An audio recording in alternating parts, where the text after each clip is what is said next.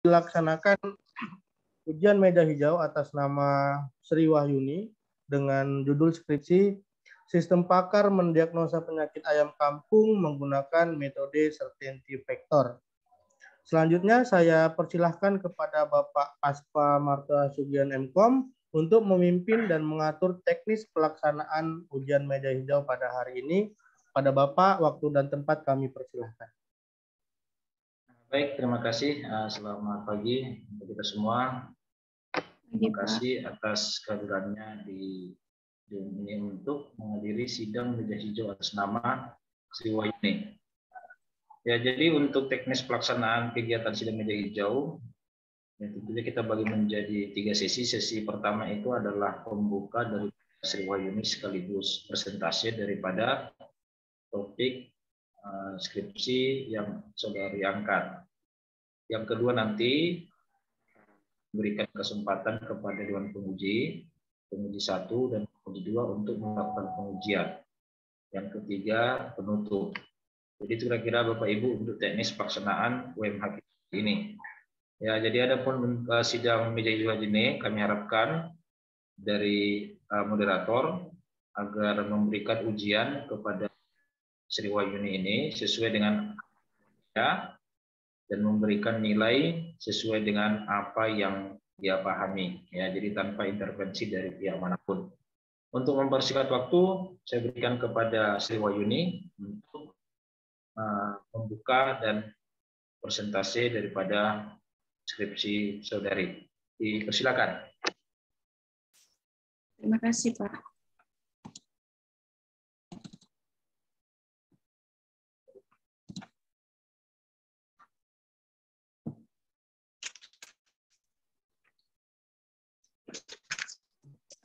Assalamualaikum warahmatullahi wabarakatuh. Selamat pagi, salam sejahtera untuk kita semua. Pertama-tama, marilah kita panjatkan puji syukur kehadirat Allah Subhanahu wa Ta'ala, yang mana pada hari ini kita masih diberikan kesehatan, keselamatan, sehingga kita dapat mengikuti pelaksanaan ujian meja hijau. Yang saya hormati, Bapak Paska Marto Hasugian, MKOM, selaku dosen pembimbing saya, yang saya hormati Bapak Adli Abdillah Nababan Mkom selaku dosen penguji satu. Yang saya hormati Ibu R. Madalena Semanjorang Mkom selaku dosen penguji dua. Yang saya hormati Bapak Yuda Perwira Mkom selaku prodi.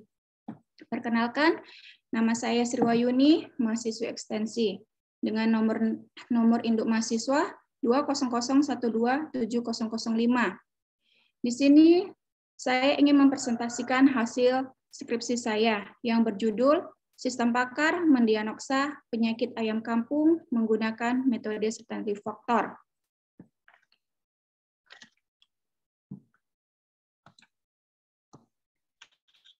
Selanjutnya terdapat latar belakang. Yang menjadi latar belakang skripsi saya yaitu di mana aktivitas peternakan ayam kampung telah ada sejak zaman dahulu.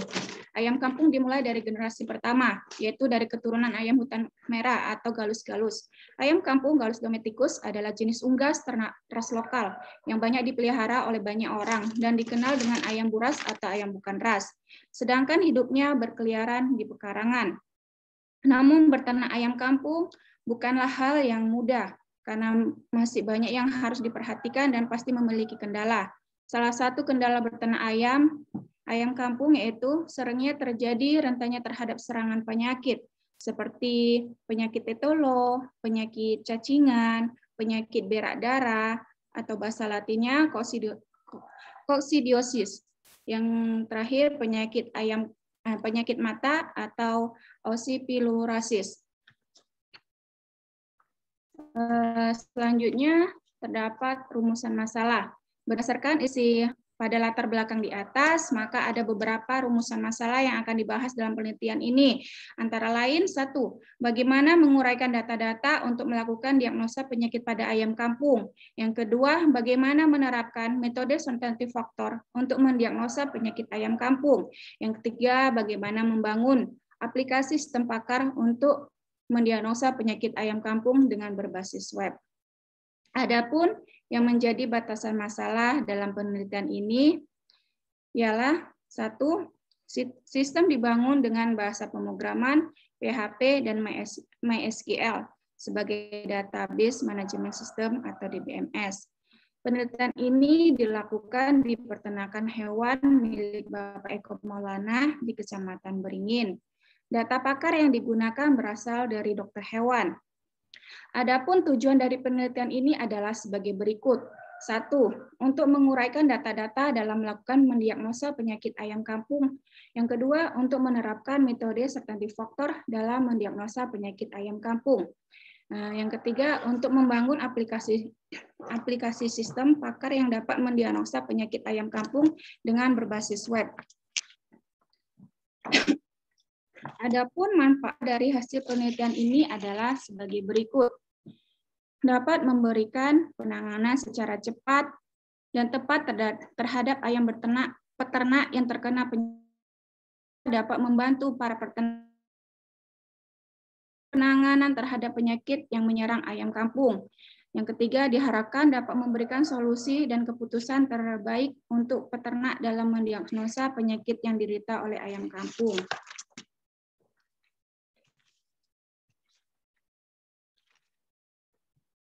Selanjutnya, terdapat landasan teori.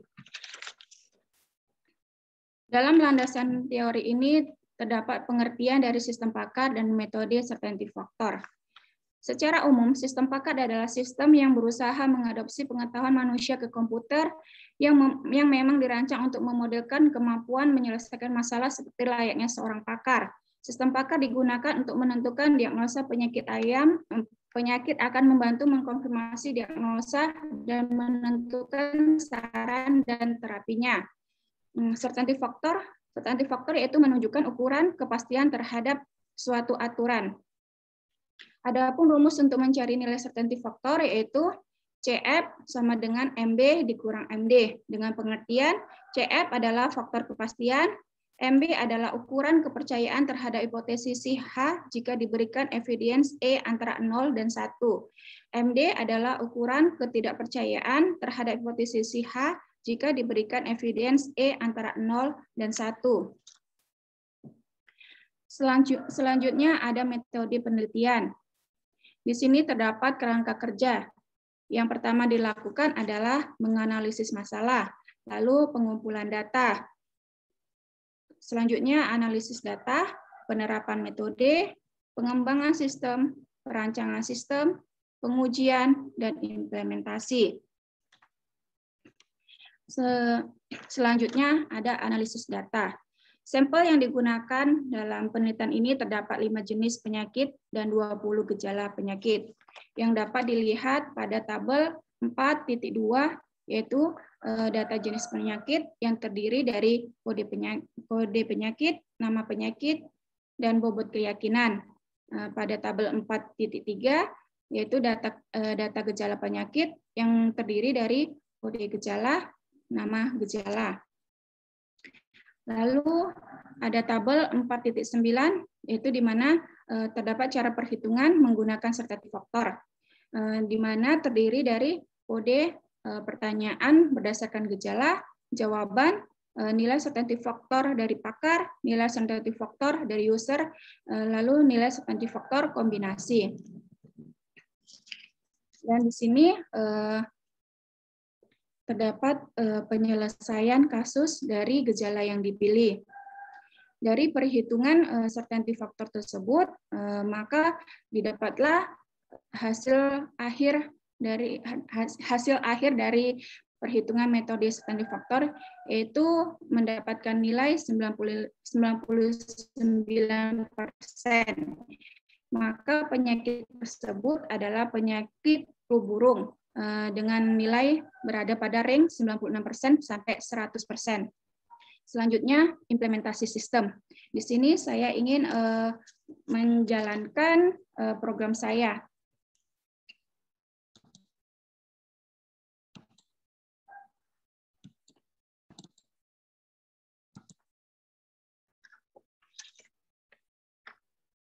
Sebelum masuk ke, ke menu utama, maka terlebih dahulu kita masuk ke menu login. Eh, kita masuk ke menu login ini terdiri dari username dan password. Eh, pertama kita masukkan username-nya. Lalu password. Dan masuk.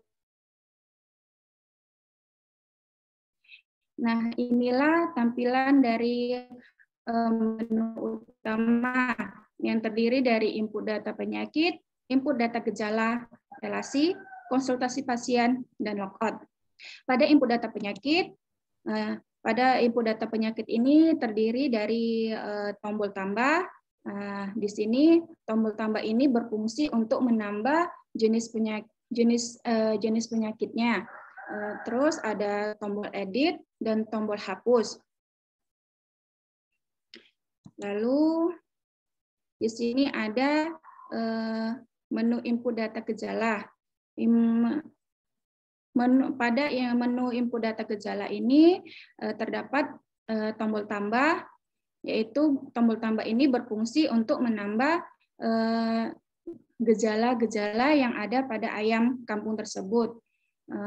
Terus ada lalu ada tombol edit dan tombol hapus. Kemudian ada menu relasi. Menu relasi juga terdapat dari terdapat tombol tambah tombol edit, dan juga tombol hapus. Kemudian ada menu konsultasi pasien. Menu konsultasi pasien ini eh, terdiri dari eh, gejala dan nilai kepercayaan.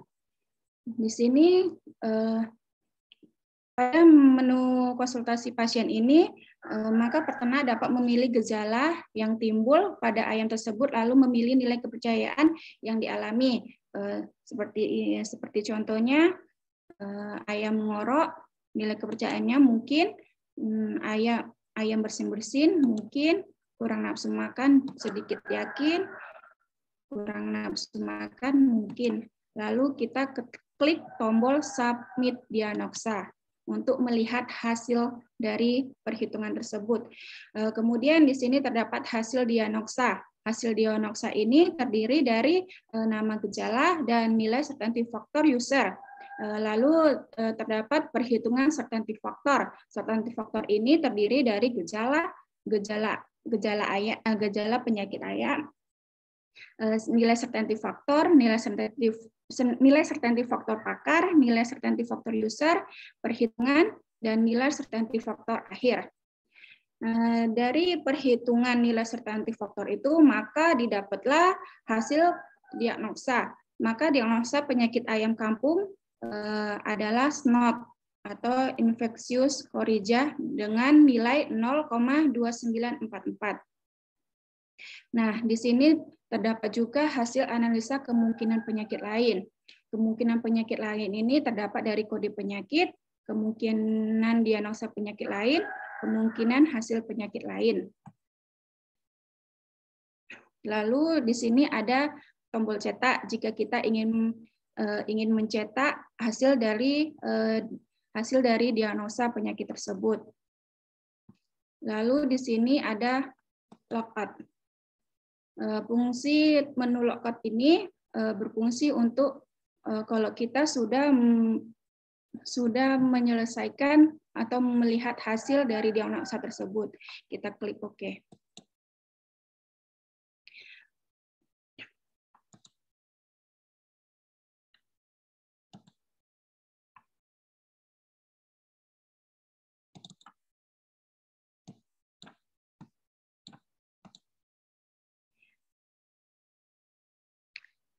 Dari uh, dari presentasi yang uh, dari skripsi yang saya uh, maka dapatlah kesimpulan maka adapun yang menjadi kesimpulan antara lain yang satu dengan adanya data-data yang lengkap maka sangat mendukung penulis dalam pembuatan aplikasi sistem pakar ini. Yang kedua, setelah dilakukan pengujian dengan menggunakan metode faktor ini, maka didapatlah nilai kepastian sehingga dapat membantu peternak eh, dalam mengambil keputusan yang akurat dan efektif. Yang ketiga, dengan dibangunnya sistem pakar berbasis web ini, maka dapat membantu peternak untuk mendapatkan informasi tentang gejala dan jenis penyakit pada ayam kampung dengan cepat. Adapun adapun yang menjadi saran antara lain diharapkan pengembangan terhadap sistem ini agar eh, diakses secara online sehingga pengguna teredukasi akan penyakit pada ayam kampung. Yang kedua, diharapkan dapat menerapkan beberapa metode sebagai pembanding agar lebih baik lagi. Yang ketiga, diharapkan dapat dilakukan perbandingan metode lain serta kombinasi dengan metode lain. Demikianlah hasil presentasi dari saya kepada Bapak penguji dan Ibu penguji. Saya mohon sarannya agar skripsi saya bisa lebih baik lagi. Saya ucapkan terima kasih. Kembalikan ke saya. Kepada Bapak, saya kembalikan. Tadi. Cepat, waktu-waktu. Iya, saya kembalikan kepada Bapak Paskah. Ya, terima kasih. Ya, uh, untuk sesi yang kedua, sesi ujian, uh, saya persilakan kepada penguji. Pada kesempatan ini, pada penguji satu, Pak Adi Abdullah Ban, untuk memberikan ujian. Dipersilakan, Pak. Uh, baik, terima kasih kepada Pak Paskah Marto Hasugian sebagai pembimbing pembimbing. Selamat pagi Sri Wahyuni. Selamat pagi Pak. Dengar suara saya kan? Kedengaran, Pak. Oke, ini karena sifatnya ujian, mungkin uh, saya akan mengajukan beberapa pertanyaan yang semoga bisa dijawab dan uh, apa namanya bisa mendapatkan nilai yang lebih baik, gitu ya. Yang pertama itu bisa nggak di apa namanya diceritakan latar belakangnya kenapa kamu memilih judul penelitian kamu ini? Apa masalahnya kira-kira? Pakai bahasa sendiri saja gitu Baik Pak, eh, terima kasih atas pertanyaannya dan saya akan mencoba untuk menjawabnya. Eh, mengapa saya memilih judul ini? Eh, saya mengambil judul ini untuk penelitian saya mengambil judul untuk penelitian saya ini karena saya menganggap bahwasanya ada permasalahan-permasalahan yang belum terjawab. Permasalahan yang ada di antaranya masih banyak peternak eh, pertern, eh, masih banyak pemilik ternak yang belum mengetahui jenis penyakit yang diderita ayamnya tersebut. Eh, maka inilah yang menunjukkan eh, bahwa permasalahan ini sangat penting untuk diteliti. Itu saja, Pak. Oke, apakah uh, sekarang kan ini sudah selesai nih penelitiannya? Apakah bisa menyelesaikan permasalahan yang kamu dapati tadi di latar belakang kira-kira? Hmm, saya ya, eh, saya yakin bisa, Pak. Bisa. Hasilnya seperti apa setelah kamu menerapkan metode ini dengan untuk mendiagnosa penyakit ayam kampung ya? Iya, Pak. Uh, seperti yang saya terangkan tadi dalam program, uh, di situ kan ada nilai kepercayaan, ada juga gejala-gejala yang yang diderita oleh ayam tersebut. Maka uh, peternak tersebut um, apa bisa bisa memilih memilih nilai kepercayaannya itu dari gejala-gejala yang ada pada ayamnya tersebut. Nah, di situ kan Eh, akan ada ada proses perhitungan perhitungan dari nilai certainty factor tersebut gitu Pak. Jadi dari situlah eh, peternak pemilik ternak itu bisa mengetahui eh, ayam-ayam yang dia miliki itu punya penyakit apa gitu Pak. Oke. Tadi di aplikasinya saya lihat itu konsultasi pasien. Berarti pasiennya ayam ini ya? Bukan Pak, maaf Pak. Uh, maksud eh, yang dimasuk konsultasi pasien itu uh, pemiliknya Pak, pemilik pemilik ternaknya Pak, yang memiliki ayam. Ya, oh, Pak. bukan ayamnya? bukan Pak. Oh, gitu. maaf Pak. Oke, tadi saya lihat sekilas untuk demonstrasi aplikasi, mungkin sudah sangat bagus ya kan. Tapi saya pun pengen tahu juga itu. Kalau untuk buat program itu si Sri Wahyuni Aplikasi apa yang kamu download, Sri Wahyuni? Uh, aplikasi SMPP, Pak. Baru untuk uh, ngodingnya itu pakai aplikasi apa? Gimana, Pak? Kalau untuk ngodingnya pakai apa? Kan itu kan kodenya kan dituliskan di aplikasi. Oh, pakai sa pakai Sablem Text, Pak. Dan teks. Iya. Jadi aplikasi SEM, ya. SMPP MySQL, PHP MySQL. Oh, itu kalau SEM itu singkatan dari apa itu ya kira-kira? Ya. SEMPP itu itu singkatan dari apa ya kira-kira?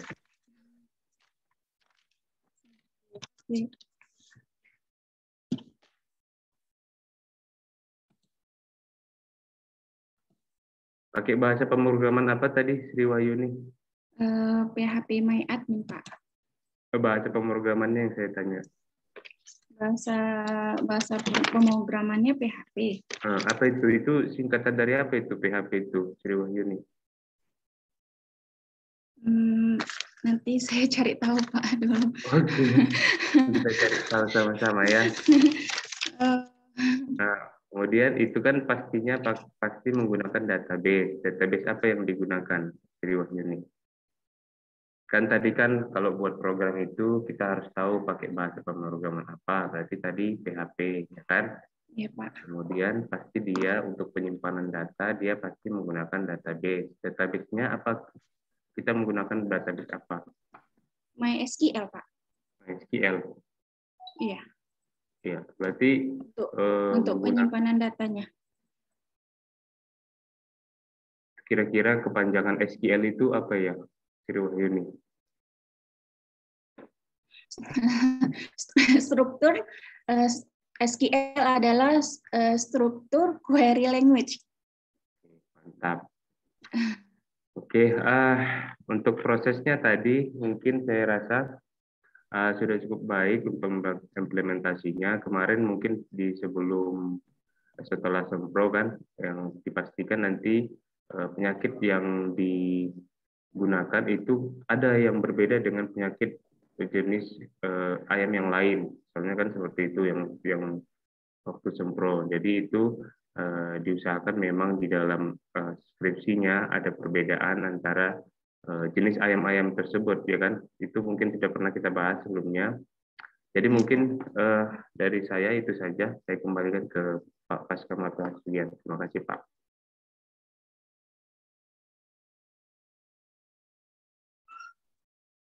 Baik, terima kasih uh, untuk penguji satu atas ujiannya.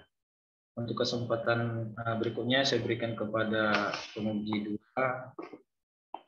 Ini apa Mrs. ya? R, R Mahdalena S. Persilakan, Bu. Baik, terima kasih atas kesempatan yang telah diberikan, Pak. Eh, selamat pagi, Sri Wahyuni. Uh, selamat pagi, Bu. Sehat ya? Alhamdulillah sehat, Bu. Oke. Saya mau tahu dong apa sih judul skripsinya? Hmm, judul judul skripsi saya sistem pakar mendiagnosa penyakit ayam kampung menggunakan metode substantif faktor. Nah, apa itu kira-kira sistem pakar yang kamu ketahui? Baca lagi. Mana ini Pak Adli? Bisa diulang nanti ya. Jadi hijaunya kalau baca. Eh, jadi kan udah hijau kalau bacanya. Berarti saya perlu lah, ya kan? Karena kan ini topik yang kamu angkat. Iya, Pak. Kamu tahu kan, harusnya lu kepala. Uh, deg-degan saya, Bu. Bukan, kan wajah kami kan lembut nih. Nggak ada wajah-wajah sangar kan. Apa saja wajahnya lembut, lemah, gemulai gitu kan. Iya. Ayo, coba. Kalau nggak bisa dijawab, berarti kurang 20 poin ini. Ayo, apa itu Sri Wahyu? Ibu, saya berusaha untuk menjawabnya, Bu. Sistem pakar itu sistem uh, yang berusaha untuk meng mengadopsi uh, pengetahuan dari uh, seorang pakar yang dimasukkan ke dalam komputer uh, yang selayaknya seperti uh, sistem yang selayaknya seperti uh, seorang pakar. Itu. Caranya bagaimana? Gimana, Bu? Caranya bagaimana? Mengadopsi pengetahuan manusia kan? Caranya gimana? Uh, caranya uh, kita uh, ya kita harus ini Bu uh, melakukan wawancara dulu Bu terhadap pakar tersebut. Siapa diwawancarai? Uh, pakarnya sistemnya pakarnya kita kan untuk eh, mendapatkan itu tadi kita harus wawancara dulu sama pakarnya setelah itu dari hasil wawancara itu kita masukkan aja ke Oke, nah di dalam di dalam skripsi kamu ini siapa yang disebut pakar di sini? Uh, dokter hewan. Dokter hewan, siapa namanya? Dokter Iin Agustina, DRH Iin Agustina. Benar melakukan riset? Iya Pak. Eh iya Bu, maaf Bu, iya Bu. Ada berapa banyak rupanya di sana ayam? Uh, saya melakukan riset itu ada uh, dua. Yang pertama, saya melakukan riset di dokter hewan, uh, dan yang kedua, saya melakukan saya melakukan riset di di, di peternakan yang dimiliki Maulana. Dan uh, ayamnya itu kurang lebih dari 100 ekor. Ini kan berbicara tentang penyakit ayam kampung. Kenapa harus eh, harus ayam kampung yang dibahas? Hmm, karena uh, karena di sekitar saya banyak yang memelihara ayam kampung bu. Dan kalau ayam kalau ayam oto itu ayam apa namanya? Ayam ras ya? Nggak ada yang melihara di sana? Ayam cuma ayam kampung iya kalau ayam, ayam kampung nggak ada nggak ada bu nggak ada ya nah Uh, penyakit ayam kampung. Ada berapa tadi jenis penyakitnya? Uh, penyakit ayam kampung itu uh, ada lima jenis penyakit ayam kampung. Ada berapa?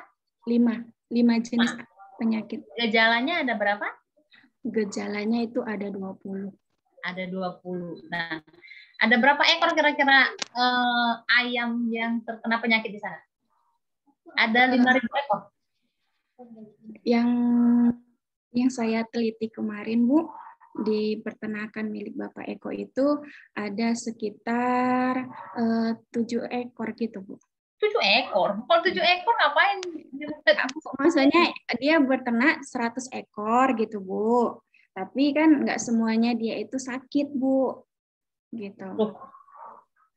Harusnya kan kalau misalkan kita melihara ayam kampung 500 ekor, yang kena 300 ekor. Nah, itu yang perlu diteliti. Cuma 7 ekor ngapain diteliti ya kan? Tinggal tinggal uh, kalau dia sakit ya udah dibawa aja ke dokter hewan. Oh, ini sakitnya, udah kasih obat. Nah, ini buat sistemnya kan. Cuma 7 ekor. Tapi kalau misalkan 200 atau 300 ekor, ya itu yang perlu diteliti. Kenapa dan uh, apa yang bisa mengakibatkan hal itu bisa terjadi kan bisa Ya? Oke. Okay. Selanjutnya. Ini kan metode yang kamu gunakan metode certainty faktor ya. Ada berapa metode sistem pakar yang kamu ketahui, Sri? Ada kurang lebih lima. Apa-apa saja? Uh, yang pertama, Demser Saper.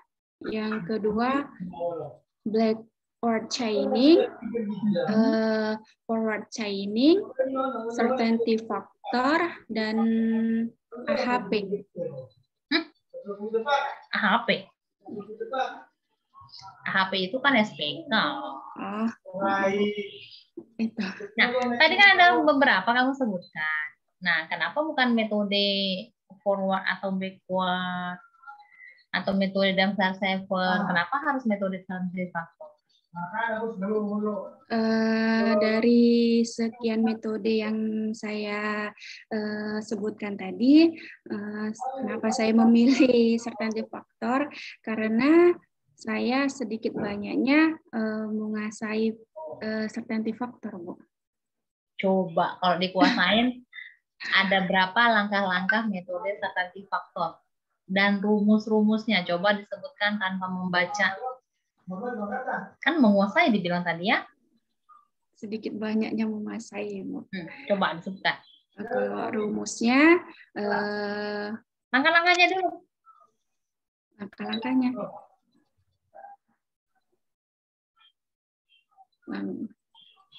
Langkah-langkahnya ada berapa? Tapi tadi menguasai satu faktor. Ada berapa langkah?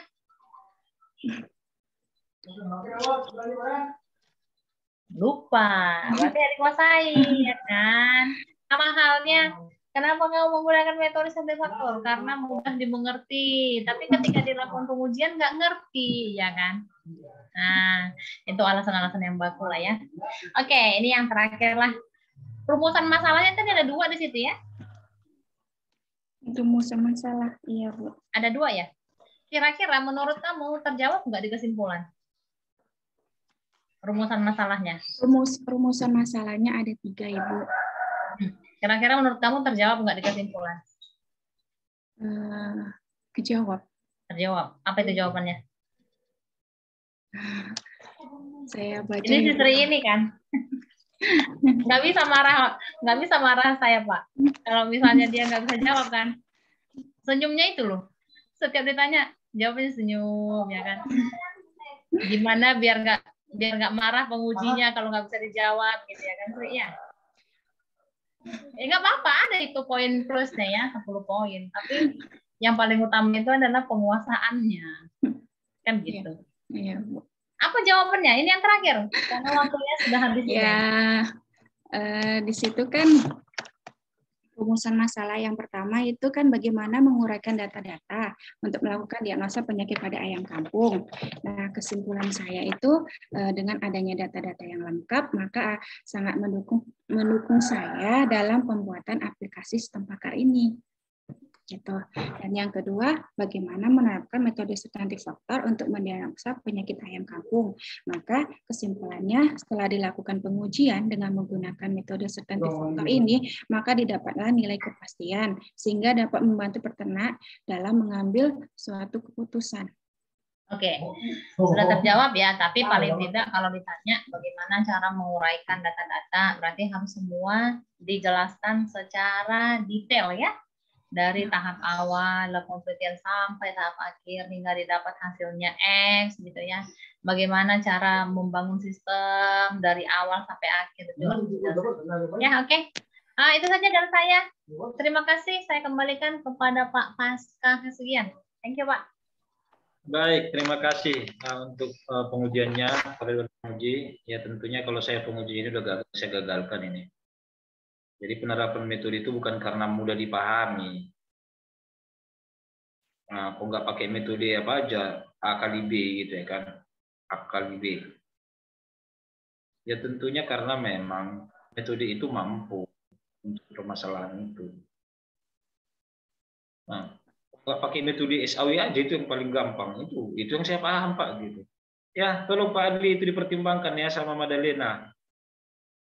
Hmm, pertimbangan itu. Saya segagalkan ini, Pak. Janganlah, Pak. Bisa digagalin.